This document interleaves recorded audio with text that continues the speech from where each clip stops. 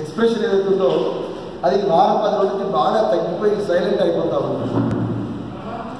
గతంలో నేను మాట్లాడినట్టుగా వర్గీకరణ ద్వారా పే బ్యాక్ సొసైటీ. ఇవాళ లబ్ధి పొందినటువంటి వాళ్ళుగా ఫలాలు పొందినటువంటి వాళ్ళుగా ఇవాళ ఈ ఉద్యమానికి భద్రత చెప్పాల్సిన బాధ్యత ప్రతి మాదిగా ఉద్యోగం మీద ఉండదు అది ఏ రకంగా ఉంటుంది? మీరు ఎట్లా నిర్ణయం చేస్తారు? ఒక సంఘంగా మీరు తీసుకోండి ఎందుకంటే శశభిషలు అవసరం లేదు. సంఘంతో ఉన్నవారు నాయకులతో ఉన్నవారు ఈ రాజ్యాన్ని ఎదిరించడానికి ఉన్నవారు. ఏం లేకపోయినా కనీసం ఏం సహకరిస్తామో చెప్పు ఎందుకంటే ఇప్పుడు వందల మంది కార్యకర్తలు రావాలి ఆటలు రావాలి మధ్యాహ్నం తినాలి ఖర్చులు ఉంటాయి మంచి చెడు ఉంటాయి. వాళ్ళంటే వాళ్ళ కార్యకర్తలు మంచి చెడు ఏదో ఒక మేరకు తీసుకువెళ్తారు మీరు చేయగలుగుతారు? ఇవాళ నాయకుడు బయట లేడు. అందుకోసమని మాదిగ ఉద్యోగులను కూడా ఖచ్చితంగా లేదా డెమోక్రటిక్గా ప్రజాస్వామ్యంగా ఏ కులంలో కూడా సహకరించడం వాళ్ళకు సరే వాళ్ళందరినీ కూడా ఆర్థికంగా ఏం అవకాశం ఉంటుందో కూడా మీరు కోఆర్డినేట్ చేసుకోవాలి.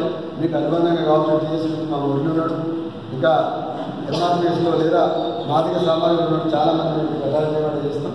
ఒక టాస్క్ ఫోర్స్ దగ్గర కూర్చోండి. ఇక్కడ కూర్చుంటే కష్టం అనుకుంటే మన ఇంటి పార్టీ ఆఫీస్ ఇక్కడనే దాని తెలియదు గౌరీశ్రీ హాస్పిటల్ ఉన్నది. మీరు రేపటి నుంచి ఇరవై నాలుగు గంటలు అక్కడే కూర్చొని సెల్ ఫోన్ ముందర పెట్టుకొని మీరు మాటలు చేసుకోమని మాకేం అభ్యంతరం బట్ ఎట్టి పరిస్థితుల్లో నల్లగొండ నుంచి ఒక్క వార్త కూడా ఇక్కడ బంద్ ఫెయిల్ అయినటువంటి వాతావరణం కూడా అది వస్తే నాకు వ్యక్తిగతంగా ఒక ప్రతిష్ట ఏంటంటే నేను ఈ జిల్లా నేను. యావత్ తెలంగాణకు చెరుకు సుధాకర్ కేవలం చెరుకు సుధాకరే కాదు ఆయన ఒక చెరుకు సుధాకర్ గౌడ్ కూడా అని చెప్పి మొత్తం తెలంగాణకు పరిచయం చేసి ఎవడో రోడ్డు మీదకి రానప్పుడు ప్రతి గ్రామంలో పది మందో ఇరవై మందో ఎంఆర్పిఎస్ కార్యకర్తల్ని రోడ్డు మీదకి ఎక్కించి తన ఇంట్లోనే దీక్ష కూర్చున్నటువంటి గొప్ప ప్రజాస్వామిక వారి మందకృష్ణ ఆయన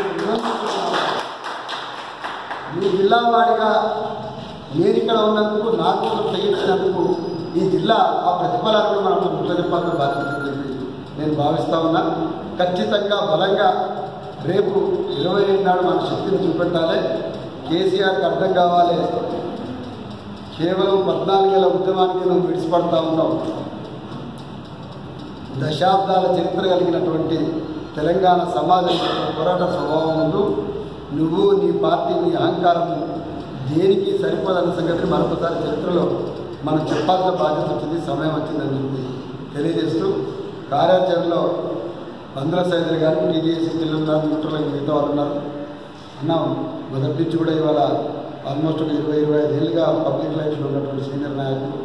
అదేవిధంగా ఆల్రెడీ శాసనసభ్యులు వెంకటరెడ్డి గారి స్వయానికి వచ్చారని చెప్పారు యూత్ కాంగ్రెస్ నాయకులు కలుసుకుంటే రోడ్డు మీద ఎంత హంగామా సృష్టించాలో చేయవచ్చు